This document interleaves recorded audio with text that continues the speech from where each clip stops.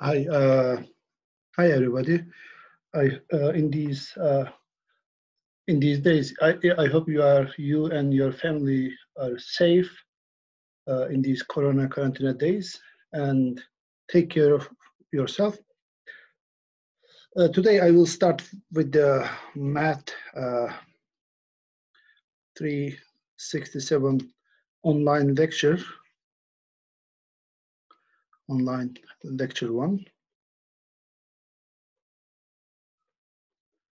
Uh, I will continue uh, with the course that we stopped uh, in the class. So today's topics is uh, the Sylow theorems.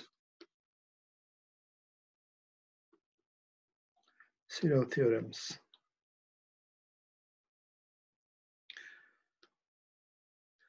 Okay. Let's see, let's remember what, what was the Lagrange theorem? Do, do you remember Lagrange theorem? Lagrange theorem. It was saying that uh, if we have a finite group, if uh, G is a finite group, finite group, and uh, H is a subgroup of H is a subgroup, of G, then uh, then the order of G is equal to the index of G, index of G times the uh, the order of H. Namely, this index of G is the number of left cosets of H or right cosets. It's the same thing. The number is the same. So so how about this converse? So namely, what, what it says, if you have a subgroup, if in a finite group, if you have a subgroup, then it is uh, the order of uh, H, order of H divides the order of G. So how about the uh, converse?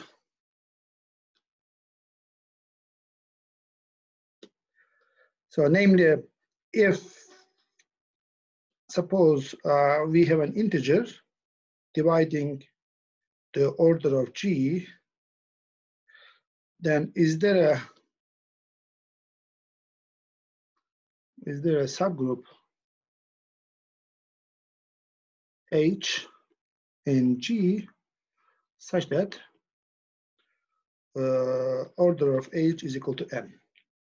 That's the question.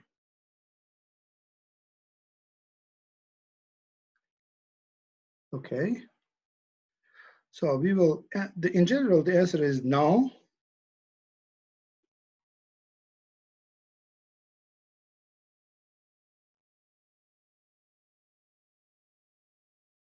Answer is no. Uh, here's an example. If you consider, for example, uh, let's take uh, the, the easiest example that I, I can remember is that if you look at the symmetric group S5, its order is 5 factorial, which is 120, 20, and its alternating subgroup A5 is uh, 660, uh, and uh, this group A5 uh, is simple. We did not cover this, but simple, that means uh, it has no non-trivial uh, commutative sub, uh, normal subgroups. namely, if n is a normal subgroup of A5, then uh, either the order of n is 1 or 60. And another fact is that, which can be shown that if in any group, in any group, if the index of uh, a group is two, then uh, this subgroup is uh, must be normal. So therefore, uh, so for example, 30 divides the order of A5, which is 60, uh, but A5 has no subgroup of index, uh, subgroup of order uh, and no subgroup uh, H in A5 uh, with the index of H is 30, uh, order of H is 30, because otherwise the index uh, index of uh, H, uh, if there is such an H, then the index of H would be 2, that would be normal, and it, that would contradict to the simplicity of A5. Anyway, this is just the side information but uh, we have a partial uh, answer to, to this question that we discussed above, namely this question. Question. Uh, the, here's the partial, partial answer. It says uh, we have a partial answer, we will give, we will state this uh, as a theorem. For this, let me first define this. Uh, let me give a definition. A group, uh, a finite group, finite group G is called, so before let uh, P be a prime, number. So a group is called a P group if uh, if the order of G is uh, the P to the R for some R. Or that that or equivalent condition is that uh, which I will not include, but I will not prove. Equivalent condition is that uh, every element of G has uh, prime has order prime power. And but this is the first definition, definition one, and definition two. Uh, so let uh, definition two, let G be a finite group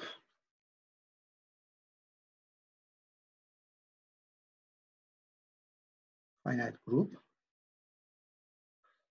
with uh, and p be an uh, a prime number.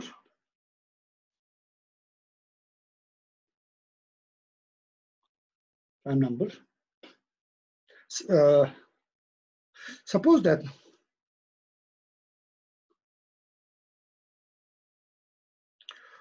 P is a subgroup of uh, this capital P is a subgroup of G, uh, and uh, suppose that the order of P is some P to the R, so that the P to the R divides uh, the order of G. So, and uh, P to the R plus one, suppose that does not divide uh, the order of G. Then this uh, subgroup is called, then P is called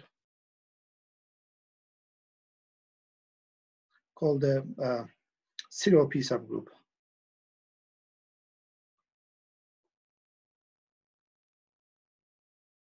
of G. So Sylow P subgroup is a P group is a, is a P group in particular. So here's an example. Example. Let's consider, so if the first example, the if the order of G is some P to the R for some R, uh, then um, Pilo, uh, Sylow P subgroup. Or sometimes it is uh, it's written like this P Sylow subgroup. It's the same thing. Uh, is G itself. And another example, the easiest example, let's consider S3. Uh, S3 is, remember, it consists of the identity permutation and transposition 1, 2, 1, 3, transposition 2, 3, uh, 1, 2, 3, and one, three, two. So namely, uh, this, this is the transposition, uh, the permutation maps this 1, 2, 1, 2 is, remember, 1, 2 means this permutation. 1 goes to 2 goes to 1 and 3 goes to 3, for example. So the order of uh, S3 is, is 6, which is 2 times 3. So that uh, if you look at this subgroup P1, this identity and 1, 2, this is a subgroup. Uh, P2 identity and uh, 1, 3 is also a subgroup in a transposition. Also P3 is uh, E and the other element is 2, 3. So these are, uh, this P1, P2, P3 are uh, Sylow two subgroups.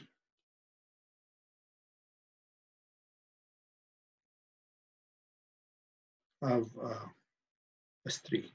So remember this uh, order of Sylow, uh, Sylow two subgroup must be two, and order of Sylow three subgroup must be three, the highest power.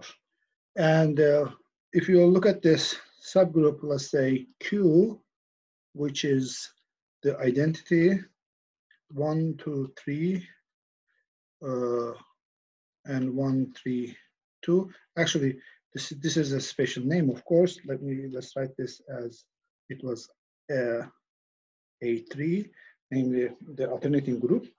This is uh, Sylow 3 subgroup of uh, S3. The highest power of 3 is 2. Uh, uh, highest power of 3 dividing S3 is 1. Okay, these are examples. Now, so as an exercise, uh, let, let me give you as an you do the same thing for uh, find Sylow uh, I, in a moment, I will give the existence Sylow two uh, subgroups of uh, or one Sylow two subgroup of uh, S4. Okay.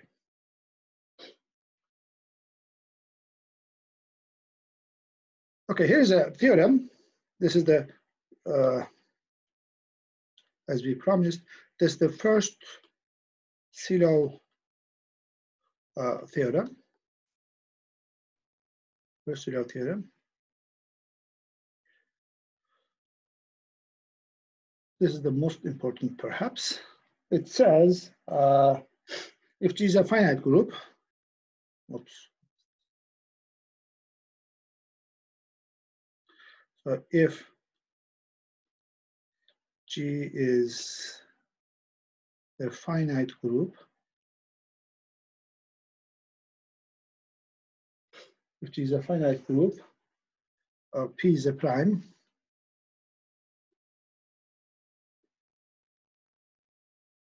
prime with uh, P to the R divides the order of G and P to the R plus one does not divide the order of G. Then, uh, then uh, there is a subgroup in G with uh, the order of P is capital P is P to the R. So namely, G has a pillow, uh, Sylow P subgroup, pillow C subgroup. okay. So namely, every uh, finite group has a has a Sylow subgroup, Sylow p subgroup. So I will not uh, prove this theorem, but the proof is you can read this from the uh, Malik's books, for example. It is it uses the class equa equation that we proved in the class. I urge you to read it. Uh, let's see what is next.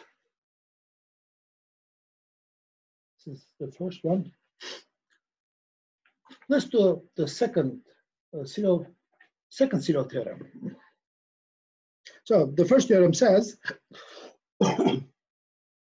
if uh, so let's see as an uh, as an example let me give an example uh, let's say if g is if the order of g let's say uh, 3 to the 5 times uh, 7 to the 4 times uh, 5 for example then uh, then there, there are subgroups this this theorem tells us that there is a there is a subgroup P in G such that let's call this P1. Uh, the order of P1 is uh, 3 to the 5. There is another subgroup P2 in G such that the order of P2 is uh, 5. And uh, there is another subgroup. This is uh, another subgroup in G such that the order of P3 is uh, 7 to the 4. Namely, this is Sylow 3 subgroup. The, so there is a Sylow 5 subgroup. And this is Sylow uh, 7 subgroup.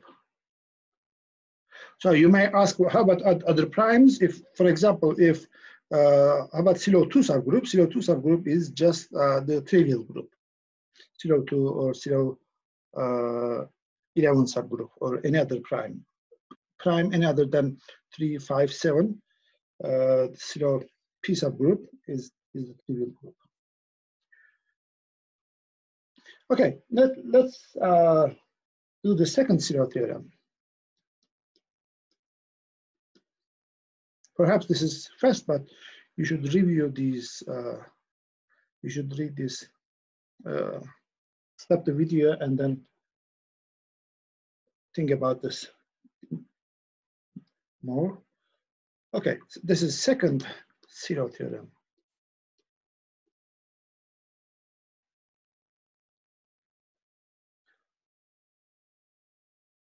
Uh, second Sylow theorem says if uh, the, any two Sylow subgroups, CELO P subgroups are conjugate to each other. So, okay, uh, here is the precise uh, statement. So let let G be a finite group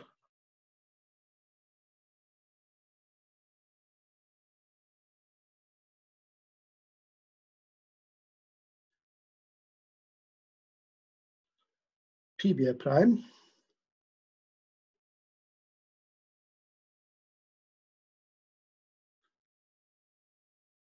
Then uh, any two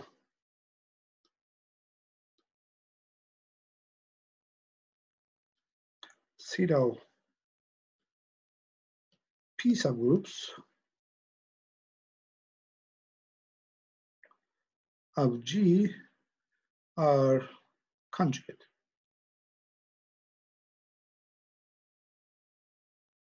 namely that what does it say? Namely if uh, p and q are subgroups in g with uh, uh, the order of p and the order of q are the same and this is p to the r and p to the r plus 1 does not divide g. So so that p and g are Sylow P subgroups, then then there is an element in the group G such that this Q, the group Q is equal to G, P, G inverse. So the conjugation. So remember, this is the, the all the uh, this group, uh, this group G, uh, the the group consisting of G, X, G in inverse such that X is in P. Okay, in, into Sylow, two subgroups are conjugate.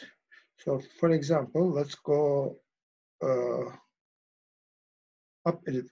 So without going up, let me write once again. So example is that, uh, again, let's look at about example.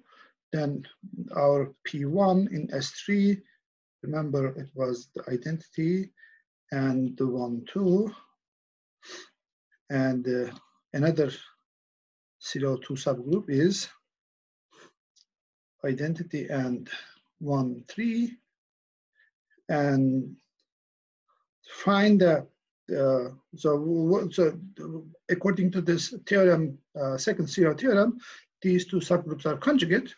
And how do we do that? For example, so let's if if you take G to be uh, element conjugating one three to one, mapping one three to one two. So for example, uh, two three, for example, then if you look at the conjugate of this P2 and the inverse of 2, 3 is, is also 2, 3. This is uh, the, the conjugate of conjugation of, let's write like this, it's the conjugation of identity with this uh, element is identity. And if you conjugate this 2, 3, uh, 1, if you conjugate 1, 3 by 2, 3, this is, remember, you, you look at where one goes to one under this permutation, one goes to one and three goes to two. And this is precisely the subgroup P1. Okay? You can, you should find, find uh, let's say G1, G2 in uh, just just G1 in uh, in G such that G is S3 of course. Such that G1 times uh, P3 G1 inverse P1 find such an element uh, by yourself. So an element conjugating P3 to P1. Okay, next. Next is the Sylow, third Sylow theorem.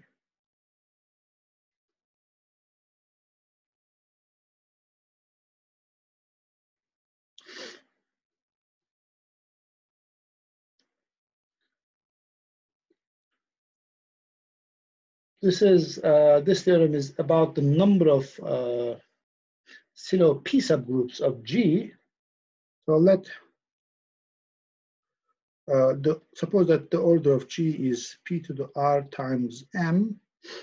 So this is the p to the r is the highest power of uh, highest power of p dividing uh, order of G.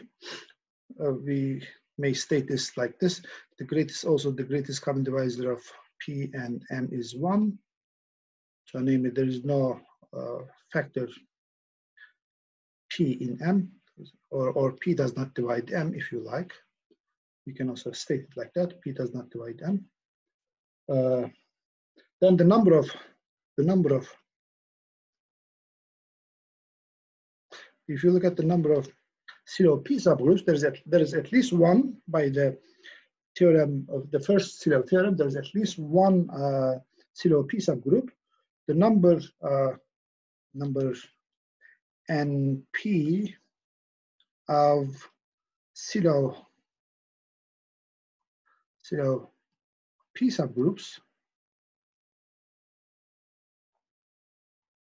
of G is uh, is on this form, is in this form like this. It is 1 plus Kp for some K. Namely, the number of uh, P subgroups is congruent to 1 modulo, uh, modulo P. Like for some P is greater than equal to 0. And also, uh, one more thing is that, and this uh, this number of Sylow uh, P subgroups divides the order of G. That's there are two state uh, conclusions. One is that the number of Sylow P subgroups is congruent to one modulo P, and the second is that the number of Sylow P subgroups divides the order of G. This is useful uh, in many examples uh, in problems. So here is a corollary of the statement is that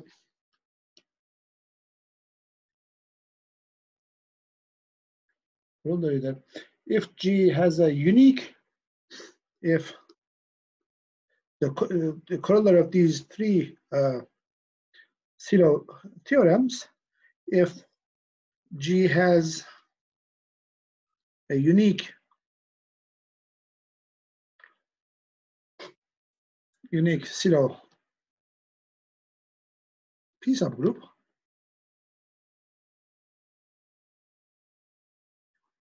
then uh, it is normal.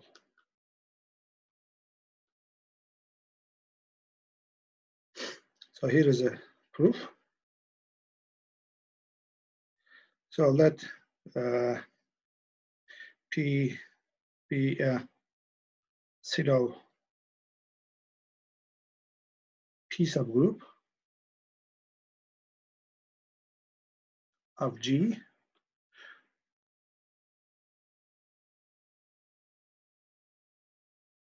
then uh, and let G be an element in uh, G.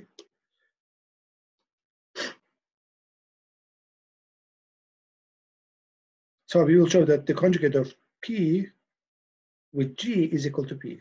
Then, uh, then the order of G, P, G inverse is the same. Uh, this group is isomorphic to P. In, in general, in general, if H is a subgroup of G and G is an, is an element, then the uh, it doesn't matter it's a finite group or infinite group. Then, uh, then if you define a map from H to GH G inverse like this phi of H is GH G inverse. This is an isomorphism. This is an isomorphism. In, in particular, it is a uh, phi is an isomorphism. In particular, it's a one to it's one to one, one to one and one to. So that the the conjugate of this P with G is equal to the this highest power p to the r, which is the order of p. Uh, but uh, so this now p and uh, this g p g inverse are Sylow p subgroups.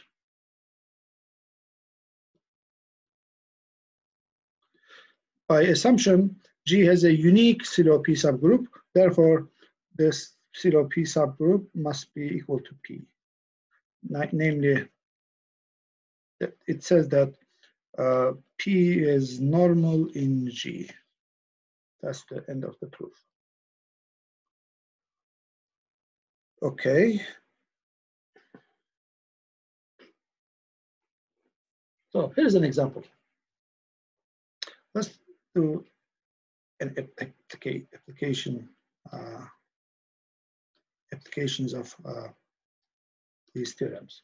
The first application is uh, so the, let's look at S3. In S3, uh, the order of S3 is, uh, remember, order of S3 is 6, which is 2 times 3.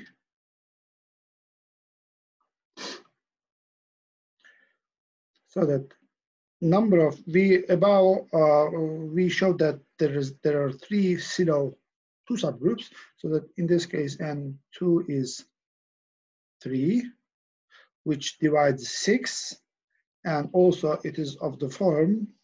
So this uh, remember, uh, the third Sylow theorem says that this N3 must divide the order of G, uh, order of S3, so that it divides 6. And also, it is of the form uh, 1 plus 2k, 2 times 1. It's in that form. Okay, so how about N3? N3 can be uh, it should be, there's at least one, it should be of the form 1 plus 3 times k. So it can be, uh, so number of Sylow three subgroups can be uh, 1 or 4. But only 1 divides 6, so therefore, so 4, so, uh, so sorry, so this 4 does not divide 6, therefore, uh, this N3 must be 1. so there is a unique set of uh, three subgroups in in S uh, S3. There is unique.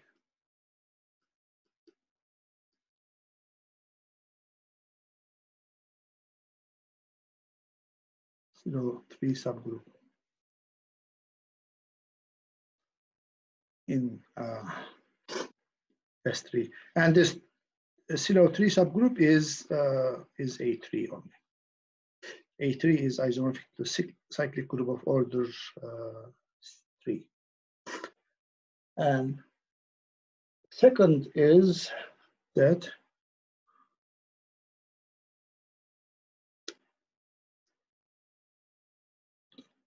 so I will try to I, I will put these files, PDF files uh, on the website, and I will let you know where that is. You, you can also read from here. Okay, second is that suppose that uh, the order of G is uh, 45, and 45 is, uh, is it 9 times 5 times 9, so it is 3 squared times 5, so that uh, let's look at let's consider the Sylow, let's look at the Sylow uh, three subgroups. Consider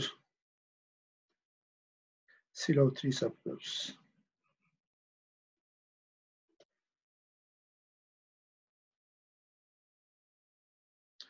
Sylow three subgroups.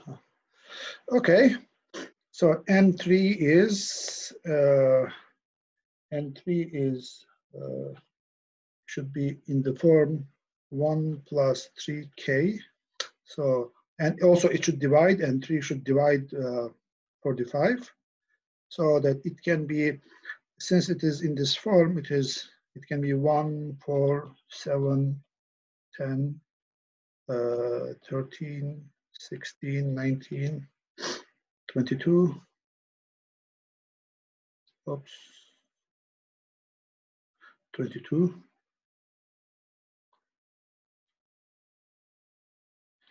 cannot write.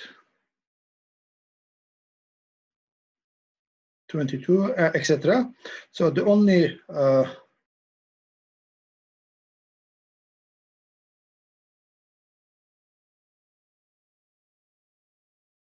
only thing 22, etc. You can go like this until uh, 40. You don't need to go until 45 but the only one divides uh, among these numbers, only uh, one divides 45, so that n3 must be 1, so that Sylow uh, 3 subgroup uh, P is normal in G. So in particular, it is, uh, in particular, the group of order uh, 45 cannot be simple, namely it has a normal subgroup. Okay, that's this is the end of uh, the first lecture.